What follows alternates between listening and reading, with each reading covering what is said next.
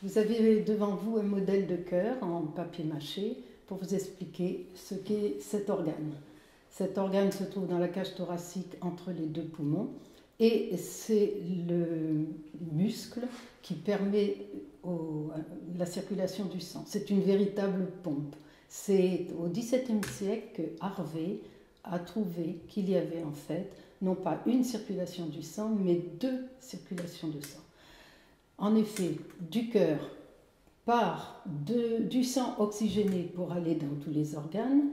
Les organes rejettent du CO2 dans un sang qu'on appellera bleu qui revient au cœur.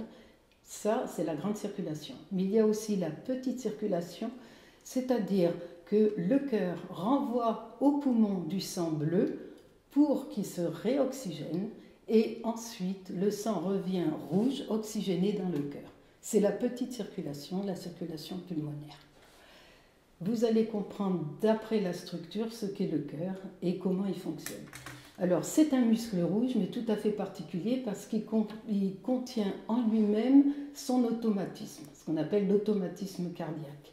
70 battements par euh, minute comme vous le savez. Nous allons l'ouvrir pour voir un petit peu que ce cœur, que ce muscle est en fait un muscle aussi très particulier puisqu'il est creux. En effet, il est séparé. Vous avez deux creux. En fait, nous avons deux cœurs. Un cœur à gauche qui est rouge, qui ne comprendra que du sang rouge, et un cœur à droite qui est bleu, qui ne contiendra que du sang bleu. Chaque partie possède une oreillette, un ventricule. Une oreillette, un ventricule. Ce que vous voyez en blanc, ici et là, ce sont des valvules qui empêchent le sang, une fois qu'il est allé de l'oreillette au ventricule, de repartir, ou quand il est allé du ventricule aux artères, de repartir, de, faire, euh, de rebrousser chemin. Alors, voyons un peu comment euh, cette révolution cardiaque, euh, comme on dit, fonctionne. Il y a, vous voyez, c'est comme ceci, il y a des oreillettes, des oreillettes, des ventricules.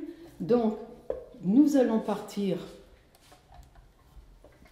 de ce qu'on appelle la systole auriculaire, c'est-à-dire que les deux oreillettes renvoient le sang en se contractant vers les ventricules.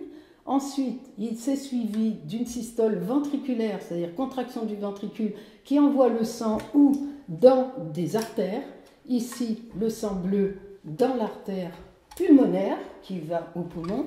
Ici, le sang rouge qui va dans la voilà, dans l'artère qu'on appelle l'aorte et qui va donc apporter le sang oxygéné à tous les organes.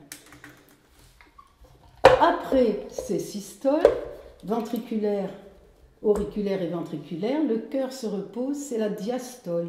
Et à ce moment-là, ce c'est la veine, les veines caves, c'est-à-dire les veines qui ont le sang bleu qui vient des organes qui va remplir le cœur droit, c'est-à-dire l'oreillette droite, et toujours pendant le repos du cœur, l'oreillette droite va se remplir grâce à quatre veines qui viennent des poumons avec du sang oxygéné, remplir l'oreillette droite.